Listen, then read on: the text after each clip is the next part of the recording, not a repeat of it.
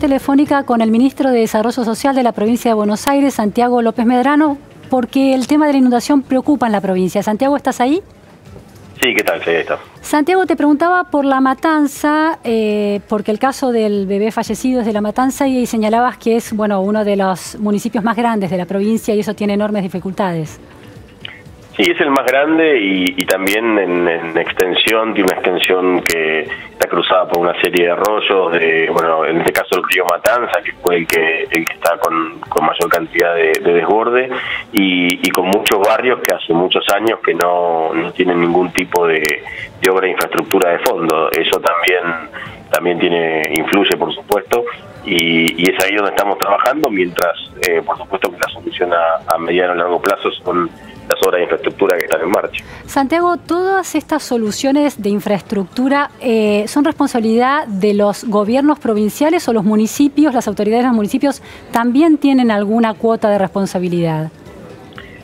Las obras de infraestructura tienen, tienen responsabilidad compartida, todo lo que son este, las calles interiores, el mantenimiento de desagües, bocas de tormenta, es decir, el sistema hidráulico que va por debajo del pavimento es una responsabilidad municipal y muchas de las obras que, que también la provincia no realiza directamente, pero que ha financiado a través del Fondo de Infraestructura Municipal, que son fondos provinciales que se transfieren a cada municipio, eh, también son responsabilidad municipal, pero más allá de la jurisdicción, eh, el tema de fondo es poder haber planificado y definido, y insisto con el caso de La Plata, que me parece emblemático, lo que sucedió hace algunos años, que fue trágico, y cómo ahí se trabajó muy fuerte en lo que es la, cuenca del arroyo El Gato, y, esta, esta lluvia del fin de semana, que fue la cuarta en intensidad en la historia de la ciudad de La Plata, no tuvo consecuencias eh, graves y la ciudad resistió de alguna manera eh, el embate climático. Lo mismo pasa en lugares como Salto, en el norte de la provincia, que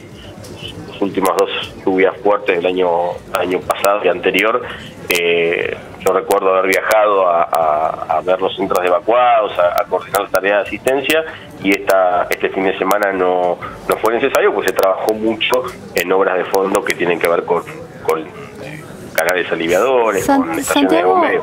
Santiago, por un lado está eh, la solución vía, bueno, la concreción transparente de obras de infraestructura que estaban pendientes por décadas en la provincia y se está avanzando.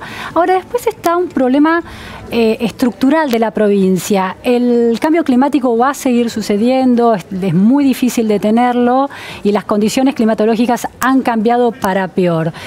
La política pública tiene que partir de ese escenario. La idea del el conurbano bonaerense con las enormes dificultades que tiene por la cantidad de población que tiene, las condiciones en muchos de esos, de esos municipios de enorme vulnerabilidad. Eh, ¿Implicaría, más allá de las obras de infraestructura, obligaría a reestructurar la provincia, dividir la provincia para hacerlo, eh, para hacer una gestión mejor de esa infraestructura y de lo que falta por hacer? Sí, yo no sé si necesariamente dividir la provincia por una cuestión administrativa. Sí creo que allá hace rato hay que pensar la región metropolitana como como una unidad, porque si uno piensa, hay varios temas que son comunes a, los, a los municipios de, del llamado conurbano y de la ciudad de Buenos Aires.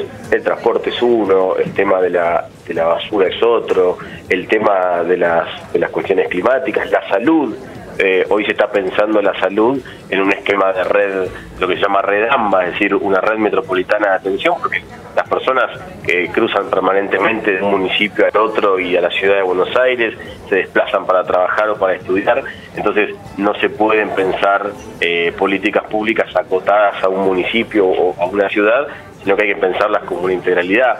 Eh, el transporte, el transporte, el tema de basura y el tema de seguridad también. Tema que, ¿Y cómo es la relación, Santiago, de la gestión de María Eugenia Vidal con los intendentes del conurbano que no son, no son de Cambiemos para lograr estos objetivos centrales y de largo plazo?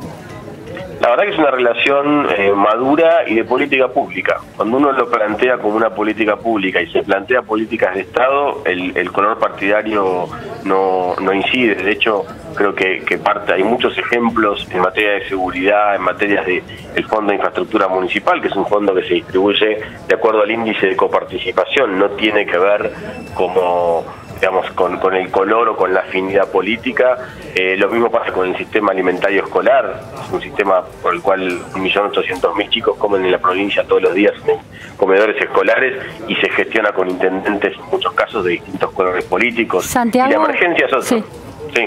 Las personas víctimas de estas situaciones, las personas que han debido abandonar sus casas por las inundaciones, la familia de esta criatura fallecida, a la hora de reclamar, eh, ¿a quién le reclaman? ¿Al gobierno María Eugenia Vidal o a los intendentes?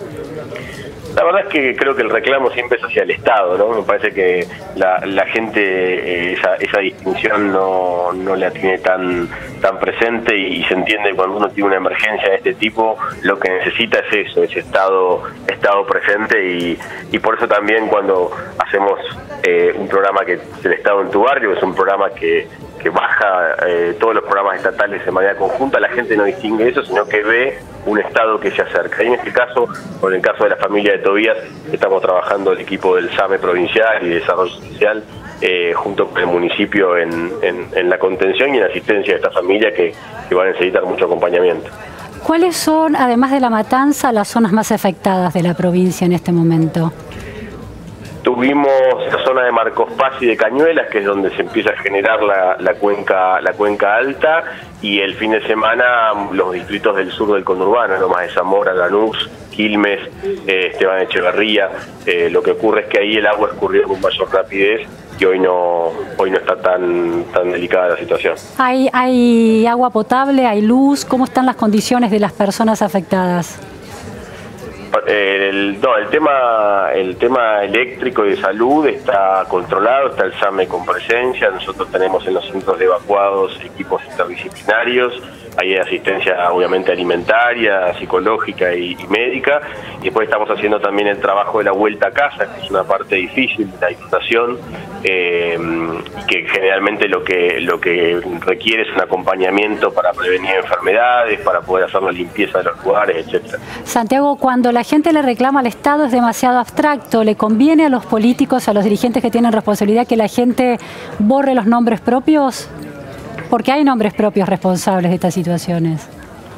Yo creo que, no sé si conviene o no conviene, me parece que, después cada uno hace su evaluación al momento de, de cuando tiene que elegir, cuando tiene que, decidir. A mí me parece que es importante, eh, sobre todo esto, fortalecer la figura del Estado independientemente de los nombres propios. Eh, y después la gente sabe cuando tiene que tomar las decisiones. Eh, eh, qué, pasó en cada caso y, a quién a quién pasarle las responsabilidades. ¿Te pesa el fallecimiento de este bebé? Tremendamente, tremendamente, no solo como funcionario, como, como ser humano, como papá. Eh, creo que son, son estas cosas que en esta actividad, bueno, muchas veces no, no tienen respuesta y por supuesto que en la familia no tienen consuelo y nuestra función es acompañar, acompañar a la familia en este momento. Te agradezco mucho, Santiago, por estas precisiones y estas impresiones. No, por favor, gracias a vos. Nos vamos ahora a un tema mucho más amable, que es eh, un paseo junto a la ribera que nos inunda, San Isidro. Muchísimas gracias, Virginia Mejía, por estar aquí. Nos vas a proponer un recorrido.